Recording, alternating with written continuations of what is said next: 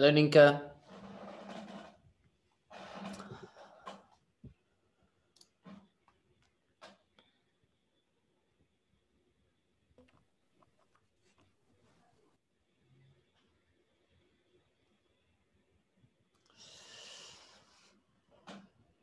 Welkom by die klas. Ons gaan nou nou begin.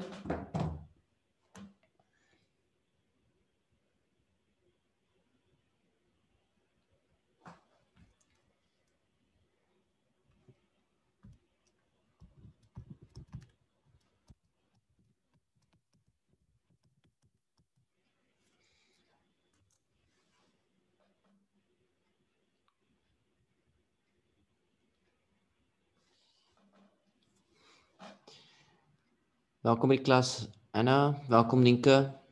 Ons wag net gou-gou, ons gaan nou 'n paar minute begin. Daar's dalk 'n kragonderbreking 8 uur. Dalk net 'n sekond van ons tyd gaan steel. Kan julle my hoor? Ja, ehm Ah. Het jy dit geskryf Ninke? Ja, ehm Jy's nou nog stadiger. ja, eh, Ons gaan nou nou begin.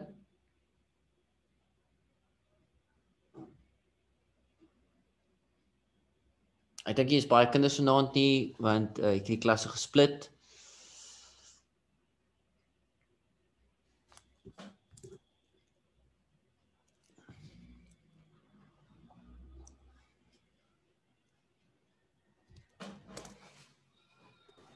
Oom. Ek het kyk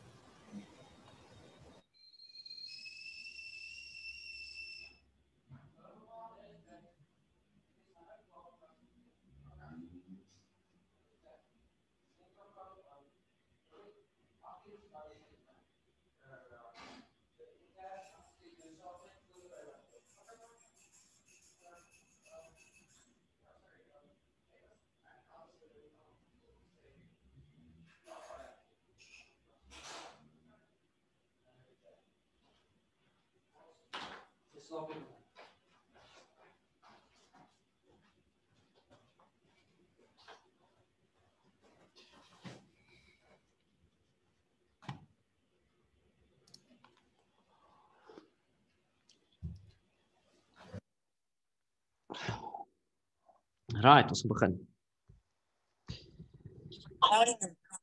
Welkom, Roshai. Henry. Hallo. Ekskuus. Um, ek dink ons krag gaan afgaan 8 uur, né? Weet jy daarvan Roshai? Ah ja, oom. Wie gaan baie sê dan? Ehm Of gaan jy ek sal al? tot 10 teen. Ek sal 10 teen baie sê dan. Annika? Welkom by die klas Annika en Henry. Sê my gaan julle krag af 8 uur? Ehm ek dink so maar ons is fyn. Ek kan nog aangaan. Okay. Goed, ons begin. Ons maak ons gedeelte oor stoigeometrie amptelik klaar uh behalwe vir titrasies en sure en basisse. Daar's 'n deel van stoigeometrie wat ons gaan doen nadat ons titrasies eers of sure en basisse eers behandel het. En dit is titrasies. So ek sal maar kyk wie wat doen. Op hierdie stadium doen ons wat by die skool. Verstaan? Ehm oom, ons is besig met stoigeometrie dink ek. O nee nee nee. Sorry, ons is besig met ehm um, ladings, daai ehm um, elektrostatika dink ek. Okay. Dis Was jy ja, bewus dit is daarvan dat daar nou net 6 uur tot 7 uur 'n klas was oor elektrostatika? Ja, oom, maar ek ek, ek kon nie join nie. Okay, en Henry, waarmee is jy besig? Ehm ek dink ons begin met konsentrasies môre. Hanna? ons gemaak met stoigeometrie. So ons doen nou net soos Voorbeelde. ja, ehm Okay, en ehm um, Nienke, julle is way gone op 'n ander plek. Waar's jy? Oom, ons het nie daai sure basiese ding gedoen. So ons doen dit nou en dan gaan ons terug gaan na elektrostatiese toe. OK. Right. Sorry, my julle is 'n bietjie die mekaar, né? So jy het gespring stroombane toe, nou suur en basis toe en dan weer elektrostatika toe. Soos oom, ons julle bang soos dat die skole weer toe gaan en dan sal ons liewer die elektrostatiese doen terwyl die O. skole toe. OK. Ja. Kyk, verstaan. So sy's bang die skool maak toe en sy dan doen sy 'n gedeelte van die werk wat baie punte tel. Ja, oom. Right. OK, stoichiometrie. Right. Ons het nou gedoen empiriese formule. Ons het gewerk met beperkende reagense. Ons het klaar konsentrasies gedoen. Is julle by? Ons gewerk met empiriese formule. Dit het so gelyk: aantal deeltjies, empiriese formule. Toe het ons gewerk met beperkende reagense. Onthou julle dit? Hm? Hallo. Alles wat nou op die bordjie is, het julle gedoen. Daar's ook video's van dit en ons gaan dit weer sien. Onthou julle dit? Gesels met my. Ja, oom. Toe het ons laasweek gekyk na konsentrasies.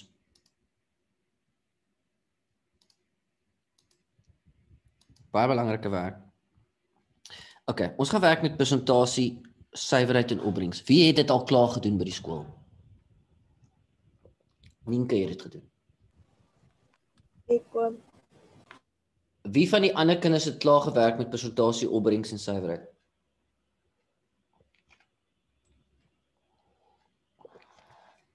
OK, goed. Right. Neem gou 'n screenshot van hierdie skerm.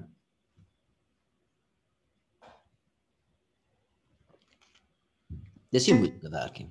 Dis maklik maklike werk, dis 'n makliker gedeelte. Kom ek verduidelik net gou wat dit is. Kom ons gaan gou na persentasies opbrengs. OK. Right. Sien nou maar jy het 'n eksperiment. Ek gaan nou ons werk saam. Ons nou eksperiment waarin ons 15 gram magnesium met 'n oormaat klomp suurstof gaan laat reageer. Right, kom ons kyk gou hierna. Ehm, um, ek dink hierdie getalle is werklik nie. I don't think so. Dis nie werklike getalle hier nie. Ons vat gou hierdie ek skrap net gou hierdie uit. Ek kan nie dink dis werklike getalle nie. Krap gou daai uit, krap gou daai uit. So. Ons het 15 gram magnesium. Right, kom ons kyk net gou-gou. Voor ons werk met persentasie opbrengs of whatever. Kom ons kyk net hoeveel gram magnesiumoksied gaan ons kry. Kom ons werk net gou saam daar. Right, ons het dit al gedoen. So is baie maklik. Jy moet nou eers die aantal mol magnesium gaan uitwerk. So die mol is die massa oor die molêre massa. En dan het ons 15 gram en magnesium is 24. Great. Werk vir my daai uit. Die kalkulator. Kry jy 0,625 mol.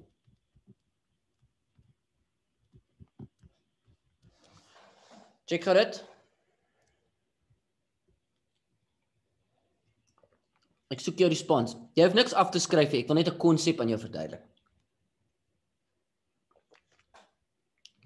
Kry almal dit?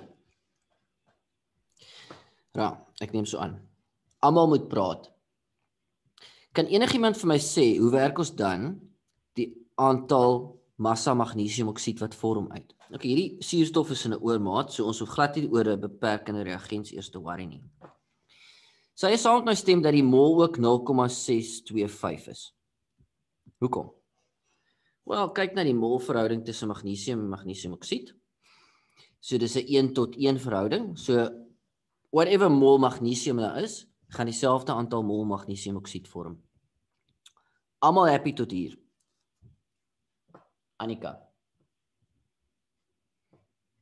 Anna, Henry, Ninka, Rushay. Is almal gelukkig tot hier toe. Ja, Ja. Ja, Kom ons werk die massa magnesiumoksied uit. Die mol is die massa oor die molêre massa. So die massa wat vorm ja. is 0,625 en magnesium is 24 plus 'n suurstof. Wat kry ek dan? Dis regtig 25. OK, 25 gram. So hierdie getalle was reg. Ek kry 25 gram. Nou hierdie hierdie 25 gram word teoretiese opbrengs genoem. Hoekom? As alles perfek gaan, dan is dit presies hoeveel magnesiumoksied gaan vorm. Maar ons kon klein foutjies gemaak het in ons eksperiment. Wat is 'n foutjie wat ons kan maak? Wel, ons kan dalk 'n uh, 'n negatiewe druk gehad het of ons kon dalk een of ander foutjie gemaak het en die magnesiumoksied wat ons bymekaar gekrap het om die massa te meet kon dalk nie akkuraat gewees het of daar's sekere faktore in ons ontbranding gewees wat veroorsaak het dat die magnesiumoksied nie vorm nie. So toe ons actually magnesiumoksied gaan weeg, toe weeg ons net 23,5 gram. So dis 'n probleem. Nou, ons het nie 'n 100% opbrengs gekry nie. Wat is ons persentasie opbrengs gewees? Nou dis baie maklik. Dis om te sê, jy het gemik af voor om 25 uit 25 vir 'n toets te kry. Toe kry jy net 23 en 'n half. Wat jou persentasie? So nou gebruik ons hierdie Lambersimp formule wat dit amper moeiliker maak as logika. Want die logika sê ek het net 23,5 gram uit 'n moontlike 25 gram gekry. Daai 25 gram is die teoretiese opbrengs. Dit is die maksimum wat jy moontlik kan kry. Jy kan nie meer as dit kry nie. En toe maal ek dit met 'n 100. Toe gee dit vir my wat? Wat's 23,5 op 25? Hm? Dis 94% opbrengs. OK, wat hulle nou wil hê jy moet doen. Jy moet net 'n vergelyking skryf daarvoor. Presentasie opbrengs is die werklike opbrengs. Wat het jy werklik gekry? Wel, ek het 23,5 gram werklik gekry. En my teoretiese opbrengs is die opbrengs wat ek maksimum kan kry volgens my formule en dit was 25 en dan maal ek dit met 100 om 'n persentasie te kry. Is dit maklik? Ja, dit is uiters maklik. Goed. Kan almal vir my 'n thumbs up gee dat julle is fine met dit? Julle verstaan wat is teoretiese opbrengs? Teoretiese opbrengs is die opbrengs wat jy op papier kry. Dis die max wat jy kan kry. En werklik is wat jy gekry het toe jy dit geweeg het. Daai getalle gaan nie dieselfde wees nie. En dan werk jy net die kleintjie bo op die grootte maal 100 om die persentasie te kry. Dan kan jy ook persentasie suiwerheid kry. So, kom ek sê net nog iets by vir persentasie opbrengs werk jy altyd vorentoe. Right, hierso is persentasie suiwerheid. OK, in 'n ander eksperiment kan jy byvoorbeeld die volgende met jou gebeur. Ek gaan net gou vir jou 'n prentjie teken. Jy kan dalk hierso een of ander produk A hê. En jy kan dit laat reageer om B te vorm. Maar A is dalk nie 100% suiwer nie. OK. Met ander woorde, wat gaan gebeur? As A so 'n blokkie van een of ander stof is wat sê nou maar 10 gram weeg. En hy's nie 100% suiwer nie. Hy het 'n klein bietjie onsuiverhede in. Kom ons sê sand of iets anders. En daai onsuiverhede 1 gram onsuiwer. Wat gaan gebeur?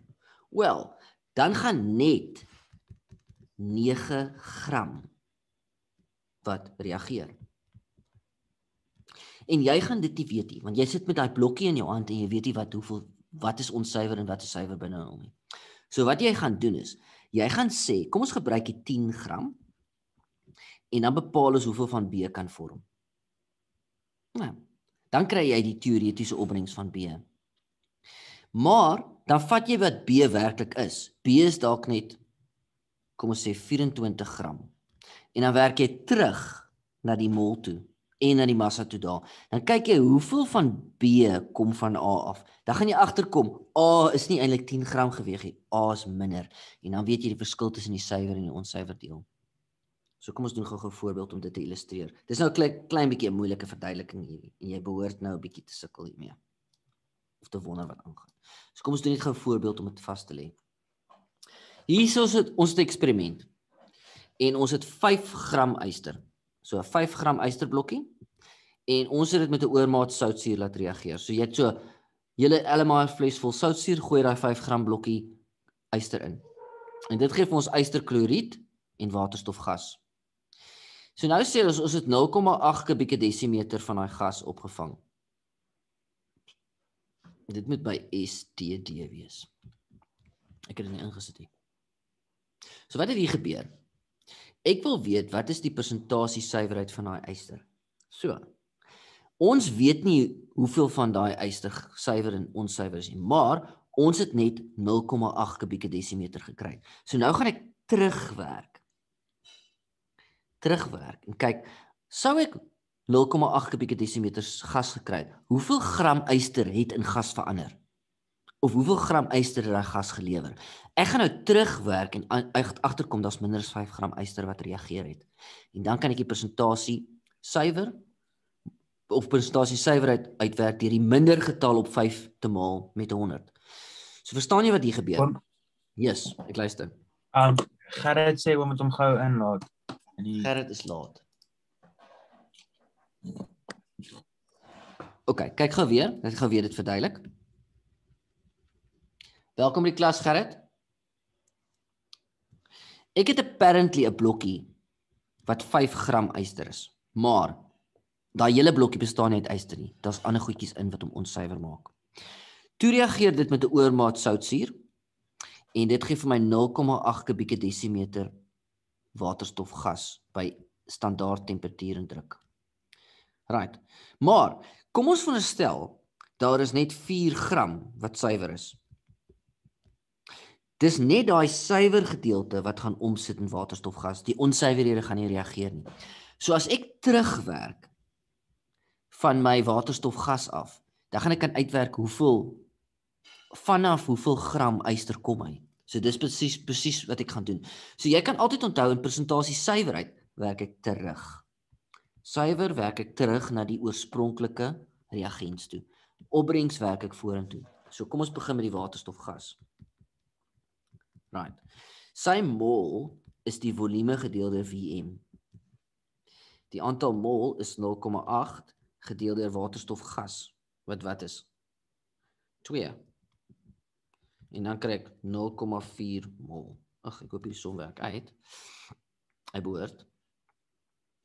Ehm um, really, gaan hy uitwerk. Ek dink daai is hopeloos te veel. Ek gaan net gou-gou kyk. As hy nie uitwerk nie, gaan ek die getalle moet tweak. Tweak. OK, kan enigiemand vir my sê hoeveel mol yster nou voor? Veronderstel was om daar te wees. Hoeveel mol yster gaan 0,4 mol waterstofgas lewer? Kan almal sien dis 0,8 mol yster. Die verhouding is 1 tot 2. So vir elke 1 mol waterstofgas moet ek 2 mol yster kry.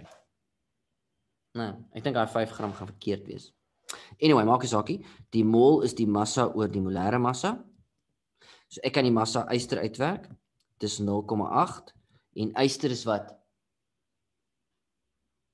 56, né?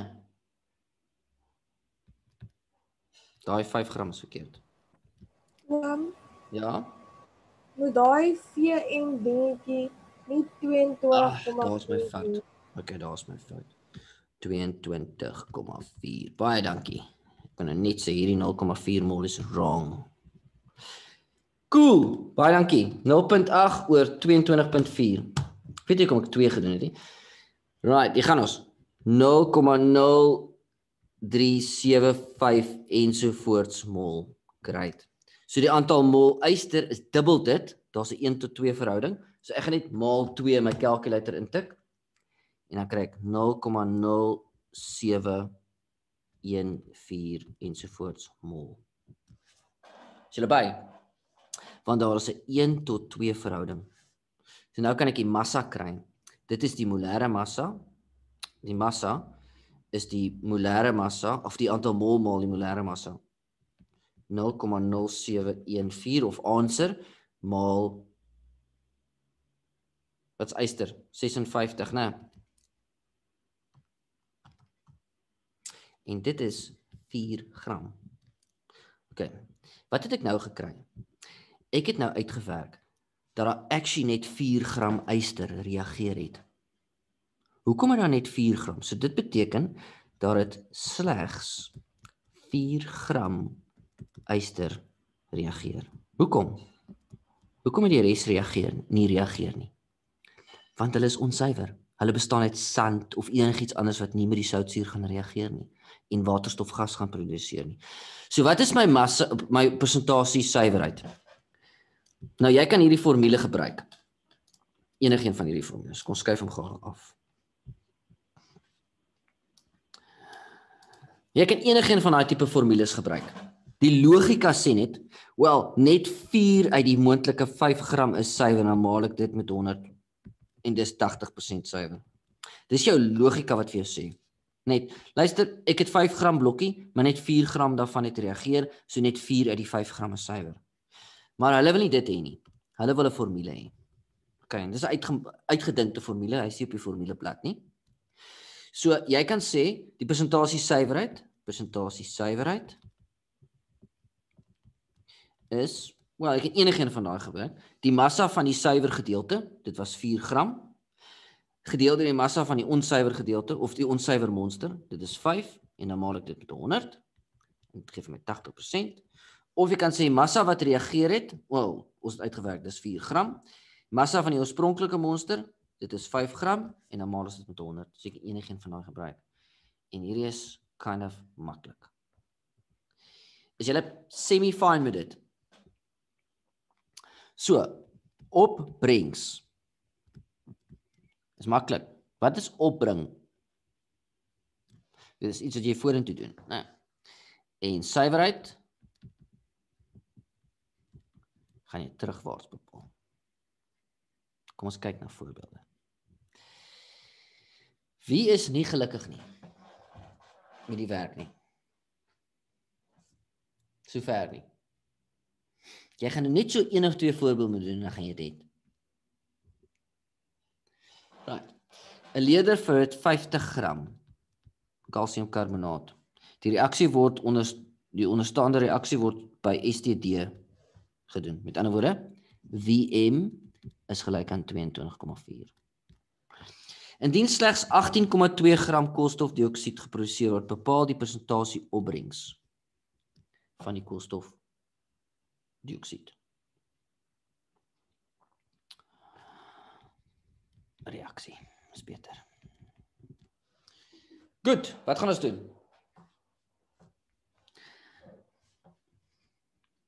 Ons gaan vorentoe werk. So ons gaan begin met kalsiumkarbonaat en ons gaan sy aantal mol uitwerk. Alright. Dit is 50 gram oor kalsium plus 'n koolstof plus 16 maal 3. Kyk gou wat jy daar kry. Almal tyd in. Dis belangrike werk hierdie. Vir graad 11 is dit uiters belangrik. En dan kry ek 0,5 mol. Right, so jy saam met my dat die koolstofdioksied mol wat ek dan moet kry, moet ook 0,5 mol wees. So vir elke 1 mol kalsiumkarbonaat vorm daar 1 mol koolstofdioksied. Nee. So daai is waar want dit is 'n 1 tot 1 verhouding. En nou kan ek gaan en daai massa gaan bepaal. Hierdie 18,2, wat is dit?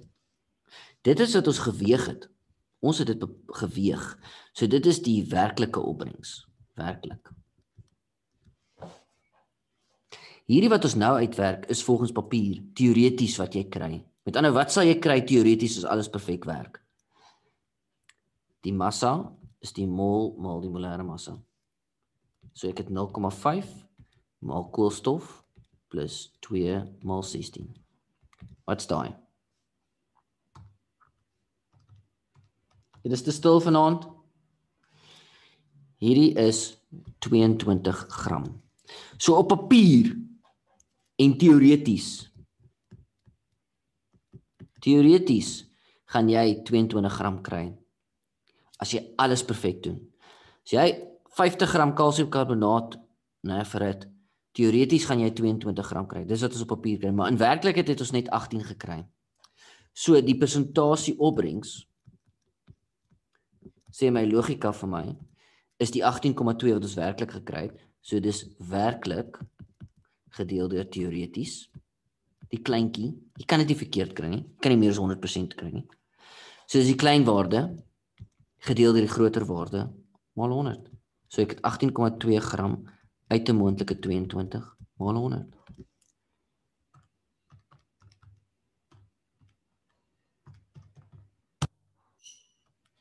Tweeëntachtig komma sewe drie persent.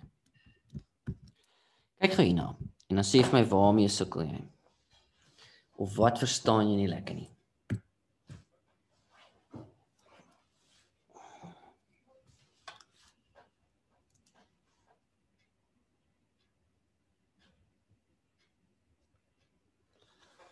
Annika, gesels met my. Of 'n message my as jou as jou mic nie werk nie. Nee, o, ek is by, ek verstaan. Ek verstaan wat oom op die oomblik doen. Is dit?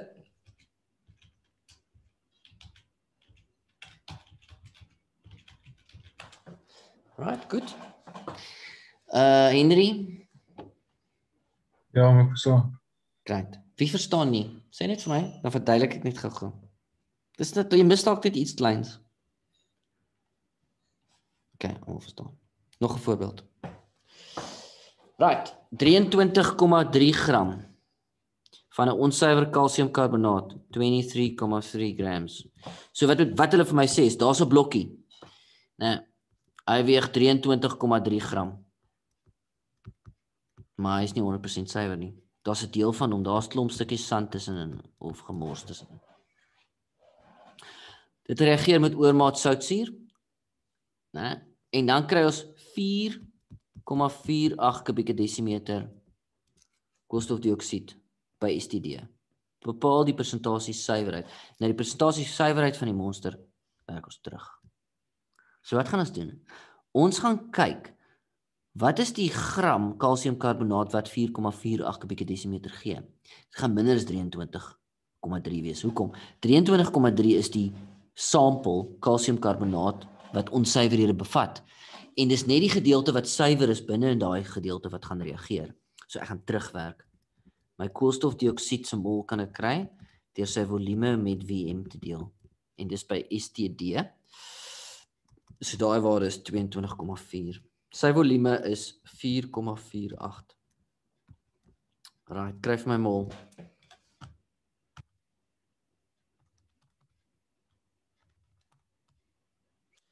Dis 0,2 mol op die kop. 0,2 mol koolstofdioksied. So die kalsiumkarbonaat, hierdie is almal maklike voorbeelde. Die mol is ook 0,2. Hoekom? Daar's net 'n 1 tot 1 verhouding.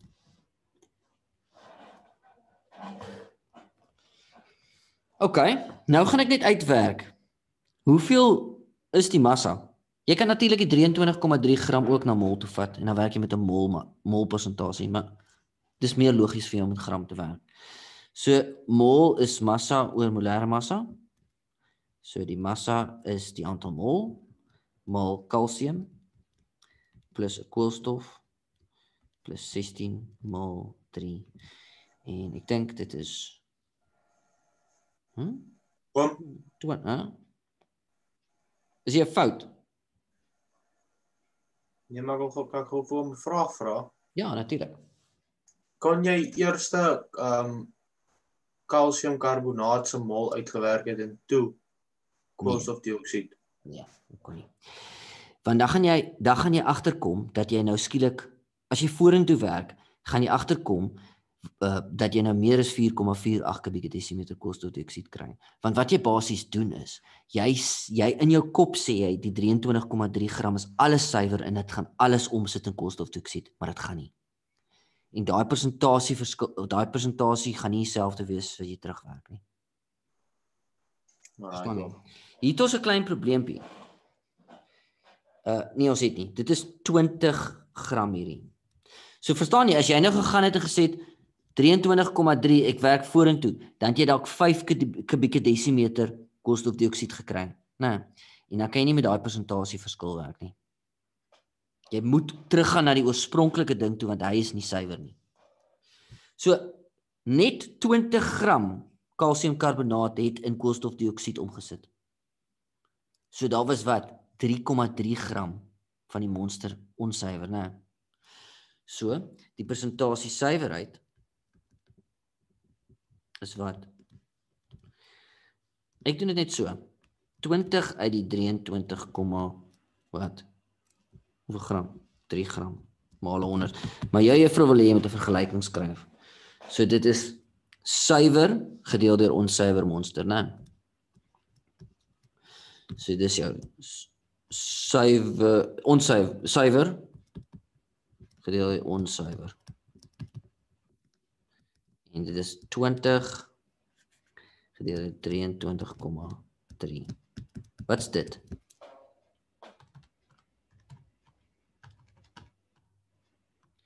Dis 85,84, né? persent. So net 85,84% is suiwer. Daar's actually 3,3 gram onsuiverhede in.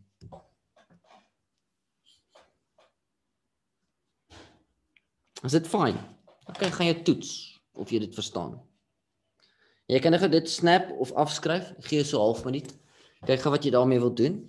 En dan moet jy persentasie suiwerheid en ook persentasie opbrengs kan doen. So ek wys net weer opbrengs is vorentoe. Dis opbring en suiwerheid is terugwaarts.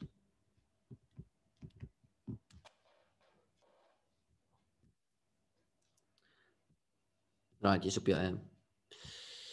Daar's 'n reaksie tussen sink en soutsuur. 2 gram sink, ek gaan net inskryf, jy gaan alles self doen.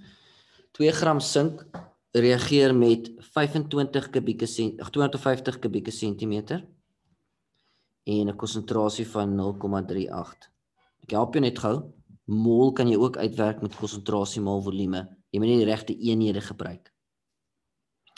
Doen berekeninge om te wys dat die sink die beperkende reagens is. Jy's op jou eie. Go. Stop na nommer 1. Dan kyk ons net gou daai antwoord en dan doen ons nommer 2.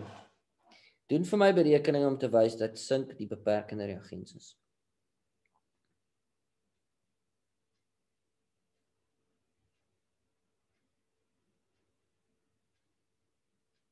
Jy het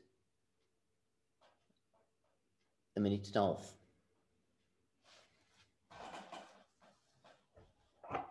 Ehm um, sink se molêre massa is 65, né? gram per mol.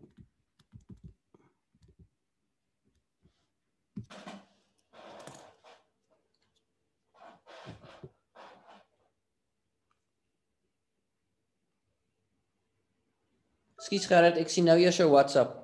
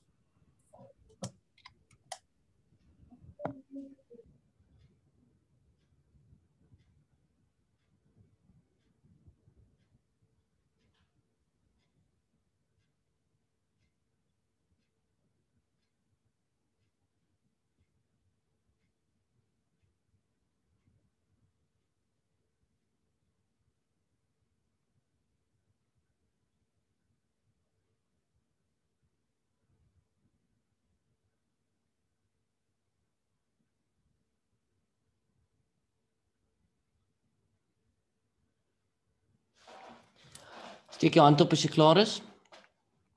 Dit ons mos nou klaar beperkende reagense gedoen, so dis peanuts.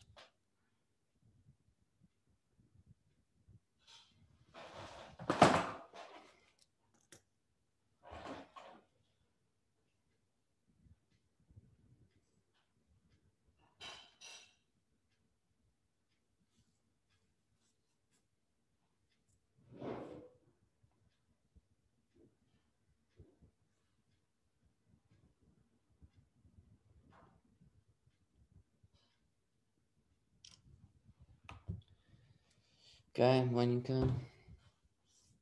30 seconds. Kom kom kom. Steek jou hand op as jy klaar is, dan kan ek aangaan.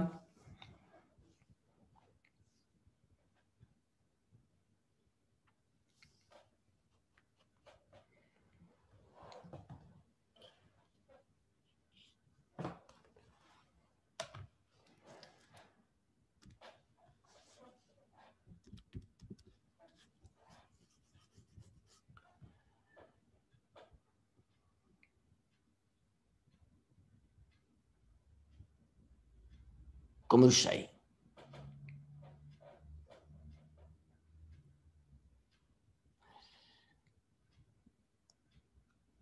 Right, let's go.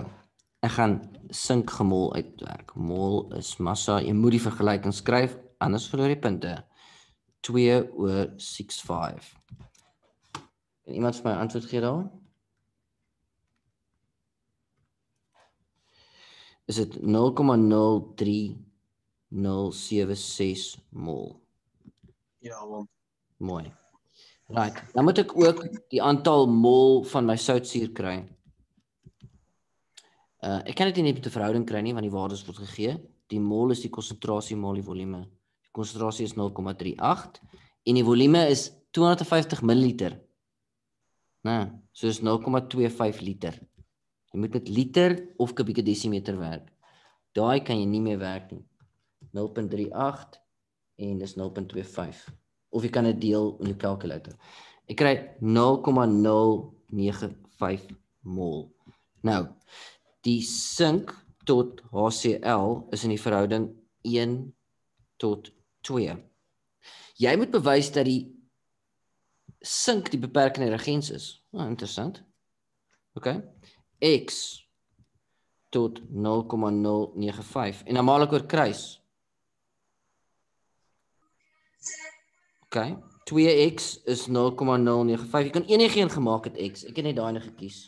Want sy antwoord is my calculator. En dan kry ek x is 0,0475 mol. Wat dit beteken is dis die aantal mol sink wat ek nodig het.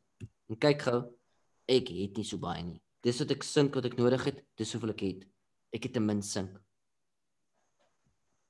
Nice. So, ek kan net sê dit wil sê sink is die beperkende reagens. OK. Indien die konsentrasie sinkloried wat vorm 0,112 mol per kubieke desimeters bepaal dan die persentasie suiwerheid van die sink op jou eie. So ek kan hierdie ene ignoreer want hy is in oormaat.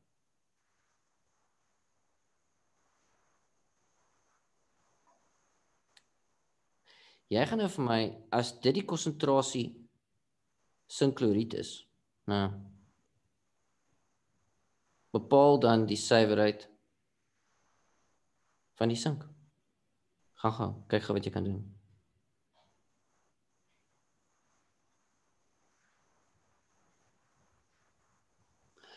En jy het 2 minute gou. Onthou net persentasie suiwerheid werk ons terug.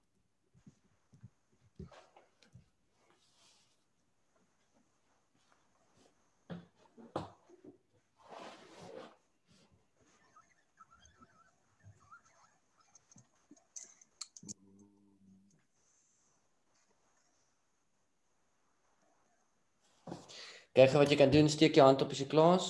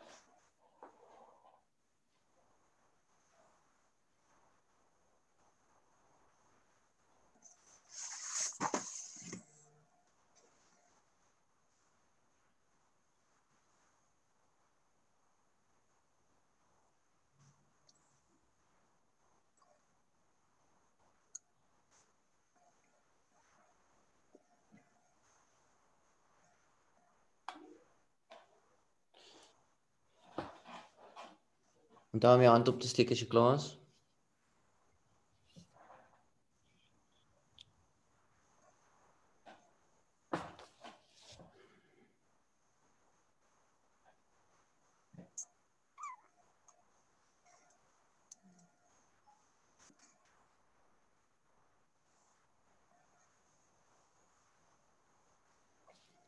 Sien net as jy nie weet wat om te doen nie, jy sukkel dalk jy wat wat is die volume of iets soos dit?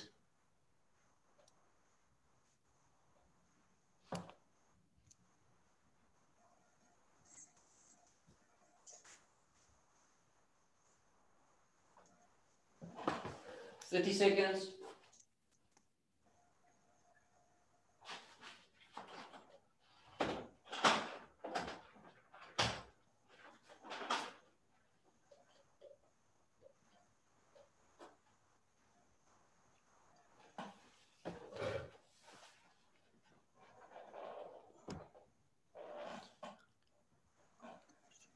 Right. Ons gaan terugwerk van die sinkkloried af. Nou, en kyk hoeveel gram sink kom van die sinkkloried af. So sinkkloried die aantal mol is die konsentrasie maal die volume. Die konsentrasie is 0,112 en die volume is net 250 kubieke sentimeter. Dink gou mooi aan, dis die oplossing se volume. Die gram sink wat jy bygegooi het, het die volume verander nie. So dit is 250 gedeel deur 1000 of 0,25. Nou gaan ek die aantal mol sinkkloried bepaal.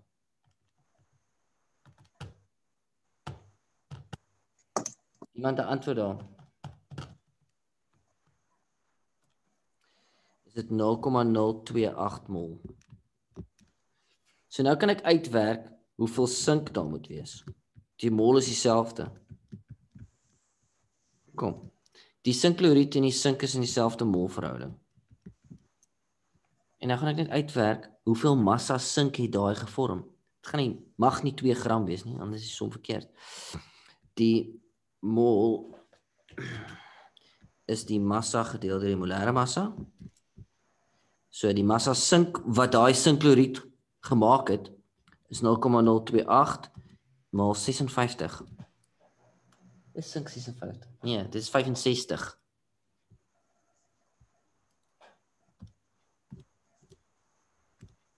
Six. En dan kry ek 1,82 gram. So. 1,82 gram sink het al daai sinkkloried gemaak. Met ander woorde, dis net 1,82 uit die 2 gram wat suiwer is. En dis die presentasie suiwerheid. Wow. Net 1,82 uit die 2 gram.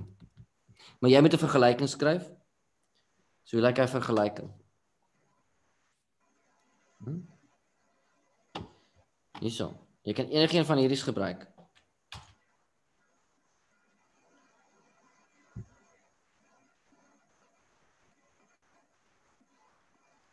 Jy kan kies massa van die suiwer monster.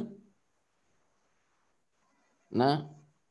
Massa van die onsuiwer monster. Dis baie keer moeilik. Massa wat reageer het. Wel 1,82 gram het reageer uit die massa wat oorspronklik van die monster is 2 gram maal 100. So jy skryf hierdie vergelyking neer. Dan sê dit wil sê persentasie suiwerheid is dit en dan werk jy dit uit. Dit is 91%.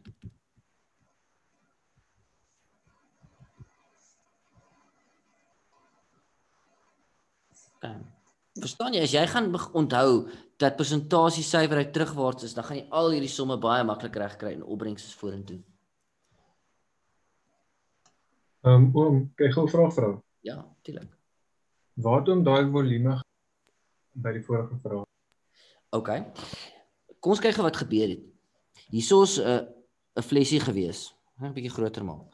En ons het 2 gram sink in 'n soutsuur oplossing gegooi van 250 ml. Nou.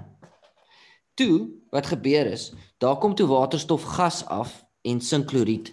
So wat gebeur in hierdie fles? Is daar sink ione en kloried ione. Maar Die volume is nog steeds 250 ml. staan. Ek het nie 'n oplossing. Ek het nie twee oplossings bymekaar gegooi nie. Ek het 'n vaste stof by 'n sekere volume van 'n oplossing gegooi. En met ander woorde, regdeur gaan daai volume 250 ml bly. Dis net as jy twee vloeistowwe of oplossings bymekaar gooi dat die volume bymekaar getel moet word. As jy 'n vaste stof by 'n vloeistof gooi, dan bly die volume dieselfde. So ek kon my sinkloried se volume ook 250 gebruik het, want die volume het nie verander nie. En dis waar ek daai volume gekry het, né? Die sinkloried. By. Okay, dankie. Okay, wat ek gaan doen is ehm uh, jy kan gou hierdie som kyk weer en weer vra vra. Ek's nou reluctant om 'n volgende som te begin. Ehm um, wie gaan aanbly as die krag sny?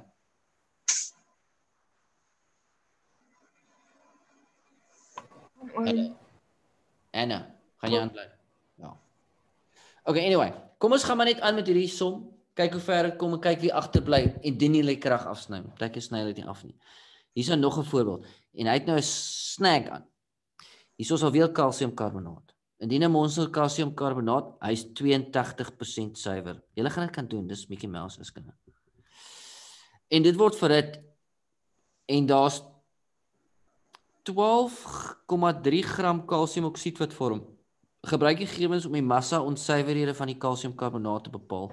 Kom ons kom ons kyk net gou weer na daai vergelyking. Ons kyk waarmee ons moet werk.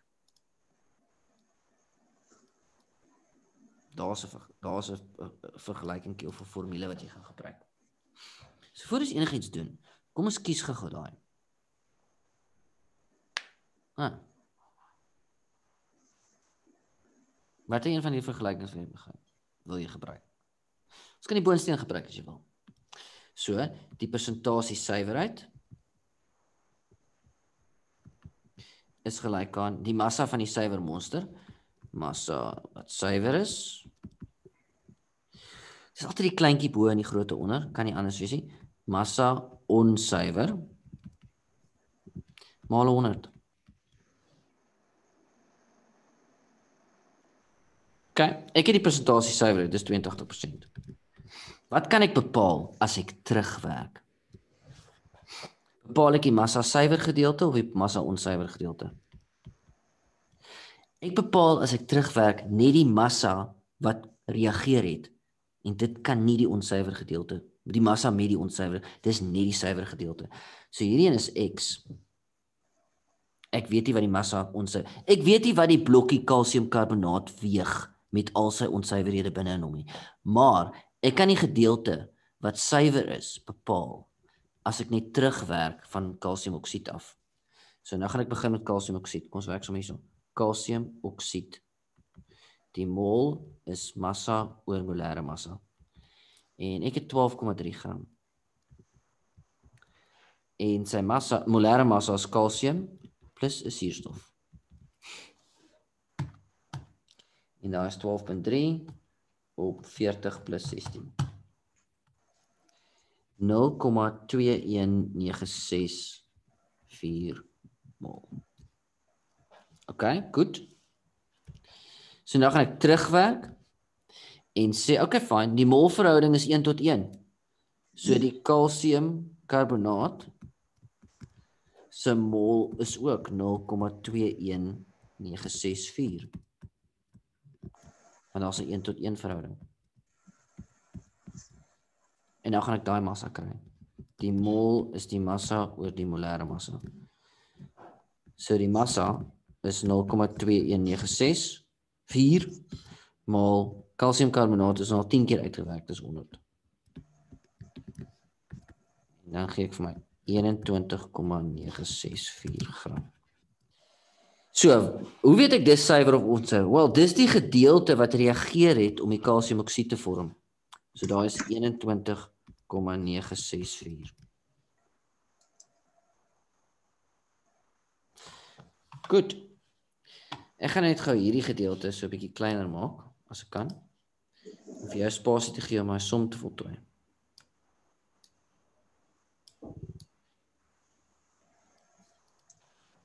So, wat's x? Wel, jy kan albei kante met 'n 100 deel as jy wil, dan kry jy 0,82 is gelyk aan 21,964 op X. Moet altyd 'n groter antwoord wees, 21.964 gedeel deur 0,82. En dan kry ek X is 26,785 gram. Nou het ek die massa van die kalsiumkarbonaat met sy onsuiverhede in. Ek wil die massa van die onsuiverhede weet. Dan gaan ek net aftrek vir mekaar. 26,785 minus die suiwer gedeelte van 21,964. So wat ek nou gedoen het? 26,7 is die hele blokkie en 21 gram is die gedeelte wat reageer het. So ek trek dit net vir mekaar af. Uh, en dan kry ek 4,82 gram onsuiverhede. Daar's 4,82 gram gedeelte wat onsuiver is binne daai monster. Goed. Krag is nie af nie. Wonderlik.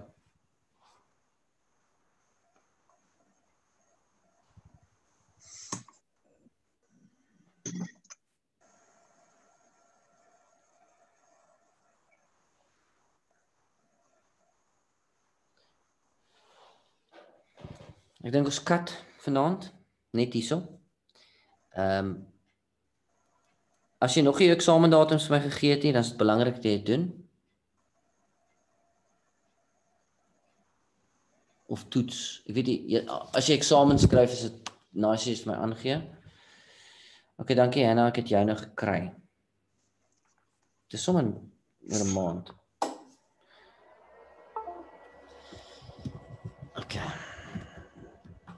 Great. Wie se krag het af?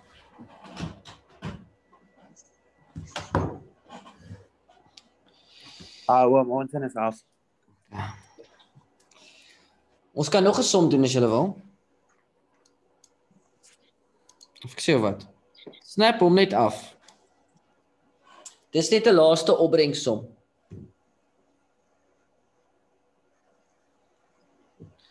En dan gaan ek vir jou huiswerk stuur daaroor oor die werk.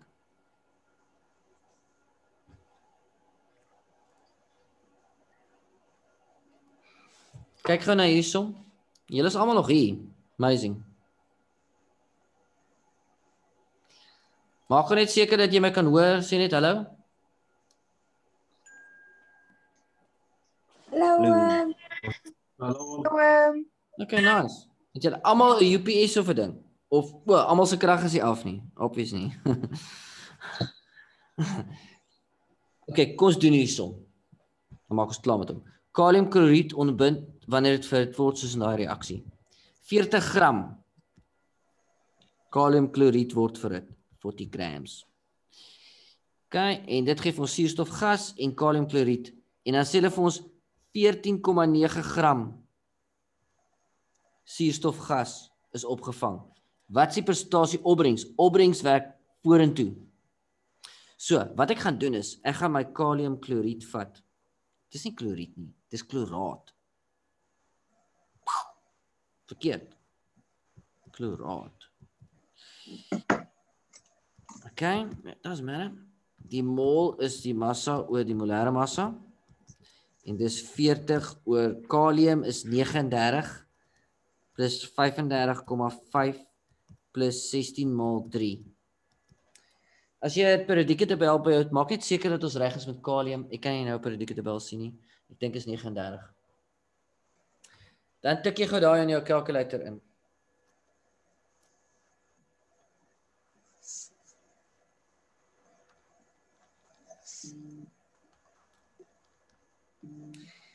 Kyk gou of jy 0,3265 kry. Ensovoorts mol. Ek het nou 'n kalkulator antwoord daar. Kyk. OK.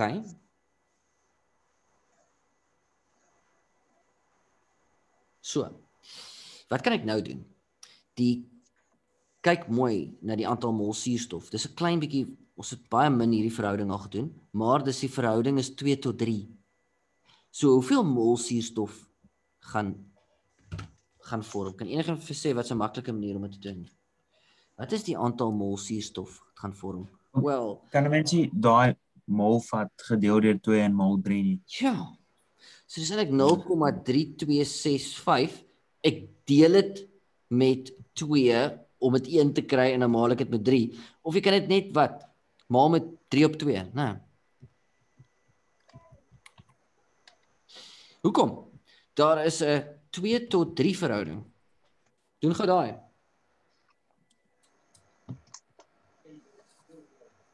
Dan kry ek 0,48979. Dis hoeveel mol suurstof moet vorm. OK. Maar ek gaan nou ek gaan nou daai na massa toe vat en ek gaan ek sien ek gaan nie 14,9 kry nie. 14,9 is wat ons werklik gekry het. Ons het dit geweeg. Dis ons werklike opbrengs. So dit gaan die bokant kom. Hierdie gaan nou omsit. Die mol is massa oor molêre massa. So ons massa gaan wees 0,48 of die antwoord in jou kalkulator maal 16 maal 2, né? Soos maal 32.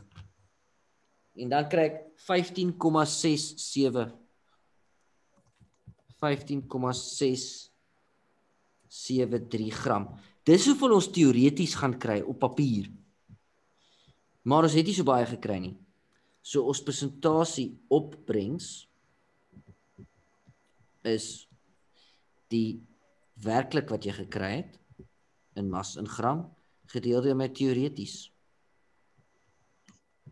maal 100. So ons het werklik 14, iets gekry wat was dit 14,9. En in teorie kon ons 15,673 gekry het. Dan maal ek dit met 100.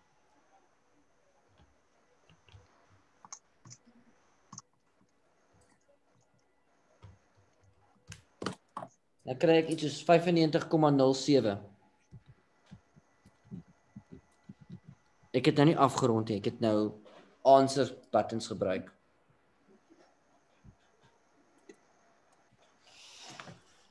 Great. Kyk daarna. As jy klaar is en jy's happy, dan kan jy gaan.